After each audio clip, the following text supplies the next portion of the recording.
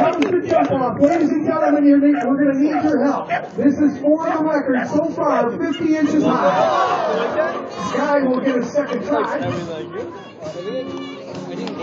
Out of that, Kieran says to Haley, you got to rev them up 46 inches. And oh my. We'll ask the handler to move the dog just a little bit closer. We're going to give you one more try here at 46. He's a little excited, Sky. Wow. Anabar, we are now at the show record so far. Ladies and gentlemen, the uh, state record is 54 inches. Let's cheer on Miss Rick here at 50. Oh, so close.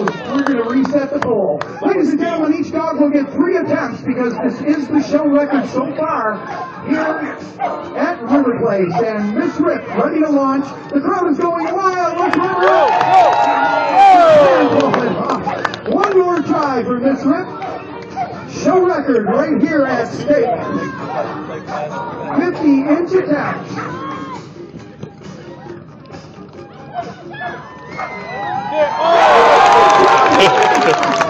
Ladies and gentlemen, that is the Upper Peninsula show record that Rip set last year, 50 inches high. Here comes Sky on the challenge. I don't hear any cheering. She's going to need your help in this jump. 50 inches. Can she do it? Ladies and gentlemen, we are now going to try to record so far. Amazing 54 inches. Take a look over the heads of some of you in the audience, and Miss Rip is on the attack. The crowd is going wild because she needs your help.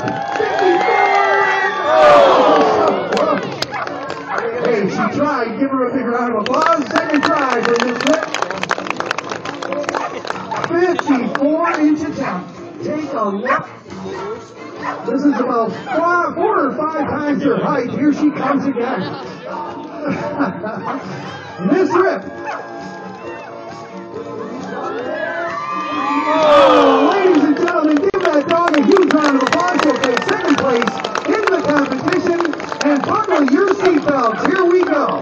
Can she do it? 54 inches, new show record. This is also the highest jump in the state of Michigan. For Sky, here she comes from Lansing, Michigan. Rev her up as she approaches the bar. 54 inches down. Here